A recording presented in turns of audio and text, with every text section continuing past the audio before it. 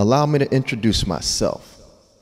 They call me the showstopper, the dime dropper, the spin move to the left, reverse jam popper, the high flyer on the high wire, the intense rim rattling noise amplifier, the net shaker, backboard breaker, creator of the funky dunk hip shaker, the man, so slam, the legend I be.